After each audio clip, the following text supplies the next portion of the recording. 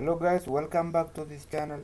Today is another important basic concept in project management.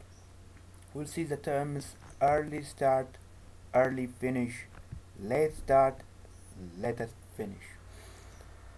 So at the end of this video you'll understand what's meant by early start early finish late start and latest finish time for an activity. Why is it important to know these terms and finally we'll see practical examples on how to calculate the earliest start early finish late start and latest finish time for activities. So on the previous video we have seen about how to calculate a float and float is the amount of time in which an activity can be delayed without affecting the project deadline. So we have seen how to calculate float using the critical paths and non-critical paths. There is also another way, the shortest way to calculate a float, and that is if you know the earliest start, the earliest finish time, the latest start, and the latest finish time, you can calculate float easily. So let's proceed. So what are early start, early finish, late start and latest finish time for an activity? So the definition is straightforward. So the earliest start is known as the earliest time in which an activity can start. So how early can you start an activity? The time is known as earliest start time. The earliest finish time is the earliest time in which an activity can finish how early can you finish an activity? And latest start time is the latest time an activity can start. How late? How late can you start an activity? And the latest finish time is the latest time in which an activity can finish. How late can you finish an activity? So the definition is straightforward. But the important point is why is it important to know these four terms. Why is it important to know these four terms? Knowing how early can you start an activity and knowing how early can you finish an activity gives you how much freedom you have to move or postpone start activity start dates without causing any delay to the project. So if you know how early can you move start an activity and how early can you finish an activity? You'll know how much time or how much freedom you have to move the start date of an activity without causing any delay to the project any delay to the project. And knowing the latest start time on activity also has its benefit. So suppose you have a network diagram. On that network diagram you have a shortest path but this path is other than the critical path.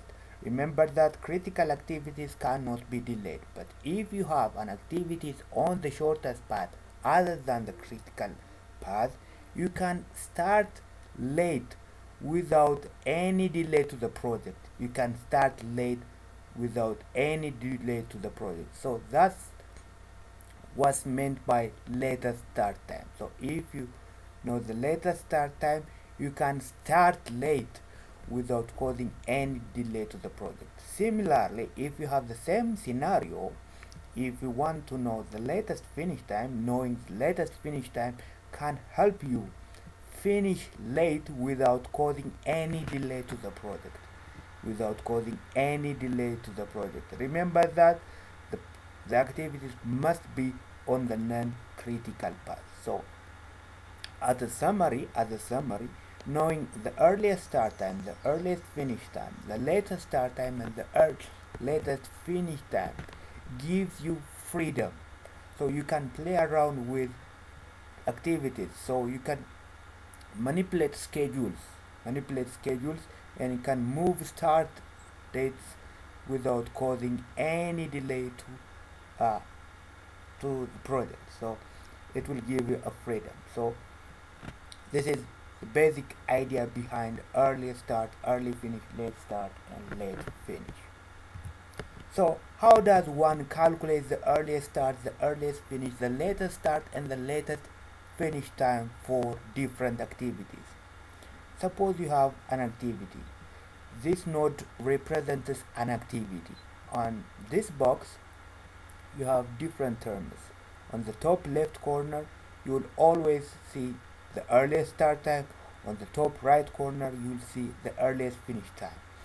On the bottom left corner, you will have the latest start time. On the bottom right corner, you will have the latest finish time. And the float is placed in the middle. So this is the label to indicate earliest start, earliest finish, late start, late finish, and the float time. So the earliest finish time for an activity will be the earliest start time plus the duration of the activity. So if you want to know the earliest finish time, it is the earliest start time plus the duration of the activity. And the latest start time will be the latest finish time minus the duration minus the duration. Suppose you have two activities, activity 1 and activity 2. So within a network diagram, how can you determine the earliest start time, earliest finish time, latest start time and latest finish time? So let's see that. You have to employ forward path and backward path to determine early start, early finish, late start and late finish. So during forward path, during forward path, as you go from activity 1 to activity 2, the earliest finish time for activity 1 will be equal to the earliest start time of activity 2. So you are going forward from activity 1 to 2. So the earliest finish time of activity 1 will be equal to the earliest start time of activity 2. Since activity 2 can start after the completion of activity 1 so you are going forward. During backward path on the reverse path you are going from activity 2 to activity 1 hence the latest finish time of activity 1 will be equal to the latest start time of activity 2 so you are going backward from activity 2 to 1 so the latest start time of activity 2 will be equal to the latest finish time of activity 1. So we employ forward back, forward pass, sorry, to find early start and early finish time, whereas we employ backward pass to determine the late start and late finish time of an activity. Let's see this with a practical example.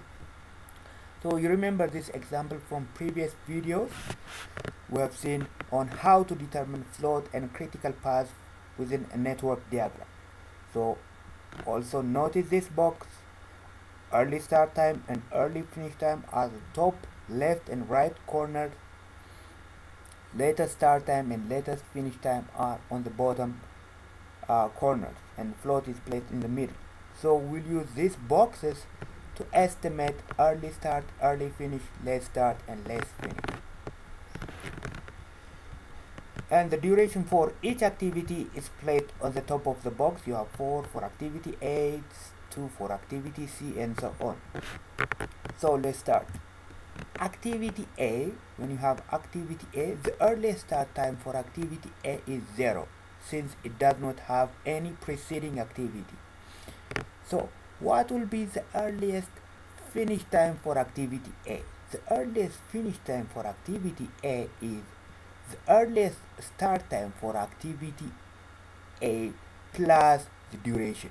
So 0 plus 4 makes 4. So we are employing forward path. For activity B, the earliest start time for activity B will be equals to the earliest finish time of its preceding activity which is activity A.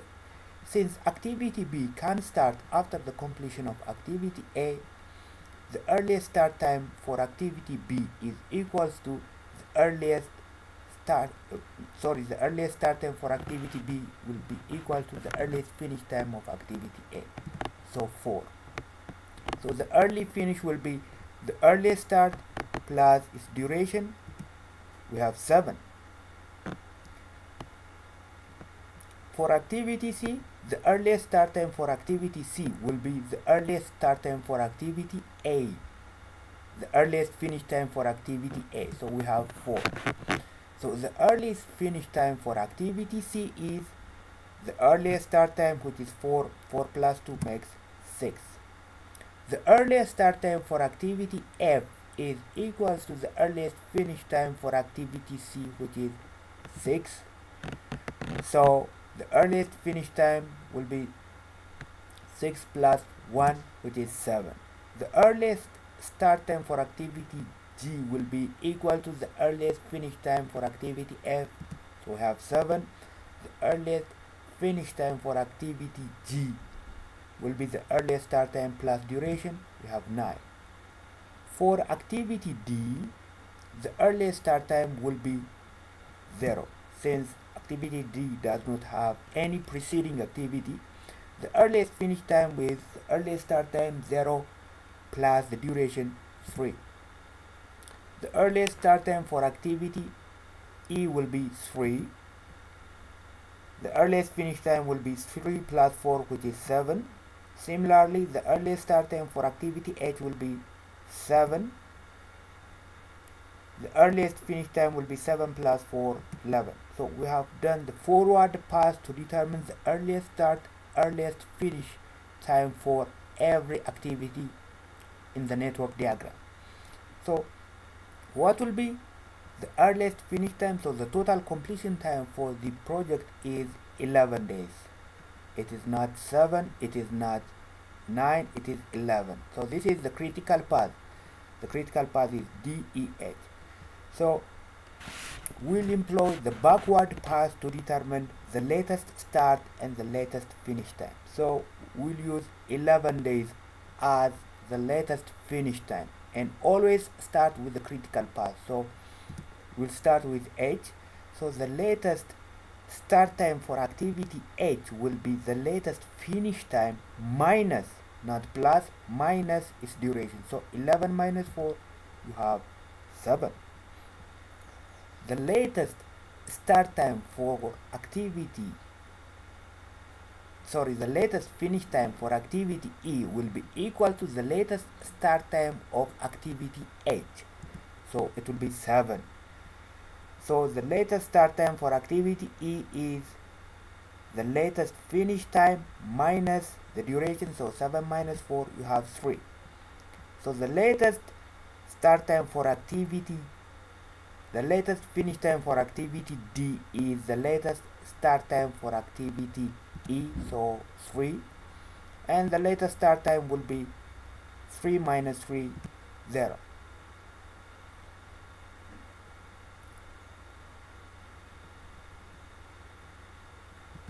Next, for activity G, which is the longest uh, path, A, C, F, G, this is the longest path, so we start from that. So we use 11, not 9. Since the total time to complete the project is 11, do not use this 9, use 11. So 11 minus 2, it will give you 7, sorry, 9.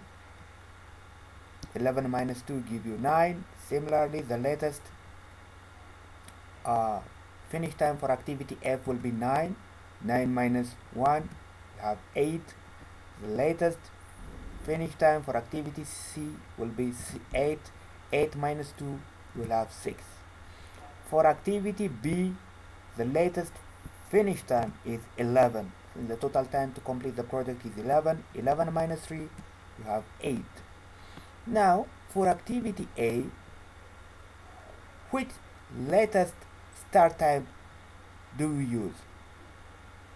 Should we use 6 or 8? Since activity A is related to activity C and B, on such cases or such scenario, you have to use the minimum value. What is the minimum value? So the latest start time, the latest, sorry, the latest finish time of a preceding activity, in this case, activity A, is equals to the minimum of the latest start time of its succeeding activities which is B and C. so we'll take the minimum latest start time of activity B and C which is the minimum is from 8 and 6 is 6 so we'll use 6 so the latest start time for activity A will be 6 minus 4 we have 2 so using backward pass we have determined latest time and latest finish time for each activity. Calculate the float. Float is calculated either latest start minus early start or latest finish minus earliest finish. You can use either of these formulas to calculate the float. So for activity A for example 6 minus 4 2 2 minus 0 2 for activity B 8 minus 4 4 11 minus 7 4 activity C 8 minus 6 2 6 minus 4 2 8 minus 6 2 9 minus 7 2 activity G 11 minus 9 2 9 minus 7 2 activity D E and H is 0 you can see that 11 minus 11 0 7 minus 7 0 E 7 minus 7 0 3 minus 3 0 D 3 minus 3 0 and 0 minus 0 is 0 you can see that activities on the critical path does not have any float. So the float for any activities on the critical path is 0 one way of checking your results is the values from this formula. Two formulae must be the same. So if your value if your value from latest start minus early start is different from latest finish to early finish then you have made some mistake during your arithmetic calculation. If you have to go back and do it again. So this is the way that you calculate earliest start earliest finish late start and latest finish time of activities. So if you find this video helpful don't forget to like and subscribe to our channel. I'll see you in next video. Thanks guys